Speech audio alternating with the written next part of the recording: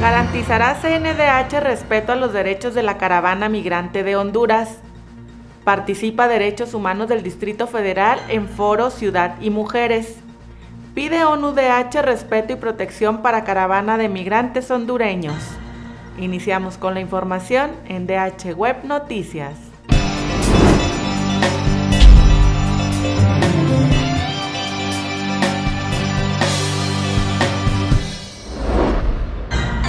Hola, soy Tania Serrano. Les presento lo más relevante en materia de derecho humanista. La Comisión Nacional de los Derechos Humanos desarrolla diversas acciones para garantizar el respeto a los derechos y la dignidad de las personas que integran la llamada Caminata del Migrante proveniente de San Pedro Sula, Honduras, en su trayecto hacia los Estados Unidos. La comisión informó que ante la situación de vulnerabilidad en que se encuentran estas personas, principalmente niñas, niños, adolescentes, mujeres embarazadas, personas mayores y quienes viven con alguna discapacidad, se emitieron medidas cautelares dirigidas a autoridades municipales, estatales y federales con el propósito de que realicen todas las acciones necesarias para proteger los derechos y la integridad de quienes viajan en la caminata del migrante, además de enfatizar en la importancia de respetar el principio de no devolución para quienes soliciten ser reconocidos como refugiados. Un equipo de trabajo integrado por el quinto visitador general, Edgar Corso Sosa, el director general de esa visitaduría, cinco visitadores adjuntos y dos médicos, se desplazó a la ciudad de Tapachula, Chiapas, y junto con personal de la oficina permanente en dicha ciudad, han sostenido reuniones de trabajo con representantes de los tres niveles de gobierno e integrantes de organizaciones de la sociedad civil, con el objetivo de coordinar esfuerzos para brindar servicios de salud, alimentación y apoyo a las personas en contexto de migración. La presidenta de la Comisión de Derechos Humanos del Distrito Federal, Nacheli Ramírez Hernández, advirtió que contrarrestar la violencia en contra de las niñas y mujeres es responsabilidad de todas y todos en cada espacio público y privado en la Ciudad de México. Al participar en el primer foro Ciudad y Mujeres celebrado en la Escuela Libre de Derecho, indicó que este organismo investiga actualmente 58 casos relacionados con feminicidios registrados entre 2015 y septiembre de 2018, además de haber realizado ya dos recomendaciones.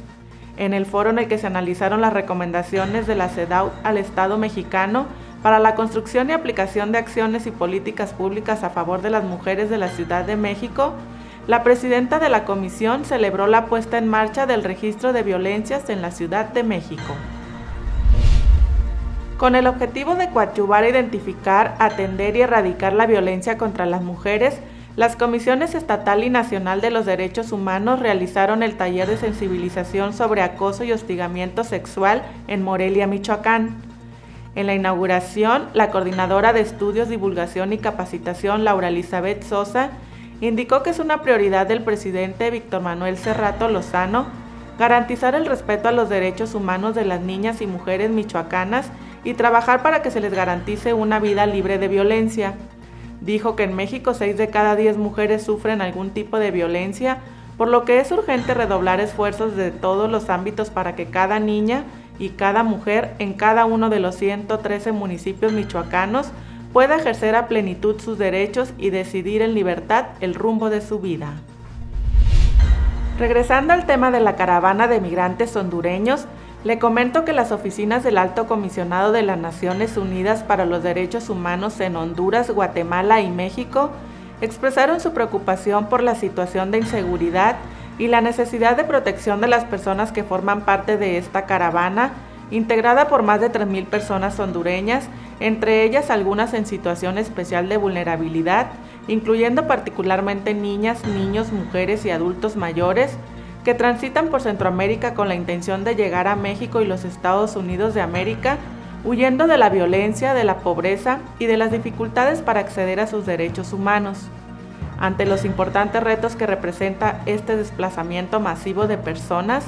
la ONU-DH reitera las obligaciones internacionales de los países de origen, tránsito y destino. Asimismo, hace un llamado a los países de Honduras, Guatemala y México a proteger la integridad y garantizar la seguridad de migrantes y personas sujetas a protección internacional. Igualmente considera vital brindarles ayuda humanitaria y asistencia adecuada a las necesidades específicas de mujeres, niñas y niños, adultos mayores, personas con discapacidad y del colectivo LGTTBI. Esta ha sido la información más importante en materia de derecho humanista. Lo invito a que visite nuestra página web de H Noticias, al igual que nuestras redes sociales Facebook y Twitter. Muchas gracias, hasta pronto.